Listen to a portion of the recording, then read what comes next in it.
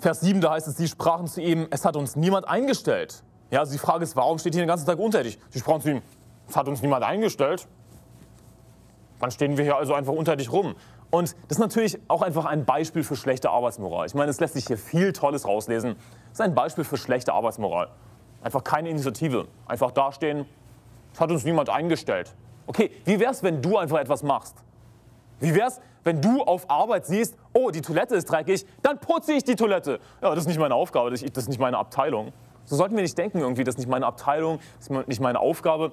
Und schau, wir alle haben wahrscheinlich manchmal irgendwie so einen dummen Gedanken, aber sei demütig, ergreife Initiative und schau, dein Chef wird das sehen und er wird dich dafür belohnen, garantiert. Gott wird sicherstellen, dass du belohnt wirst für deine Arbeit. Ergreife Initiative, sei nicht wie diese faulen Leute, die den ganzen Tag unstetig, untätig dastehen und dann einfach so sagen, das hat uns niemand eingestellt.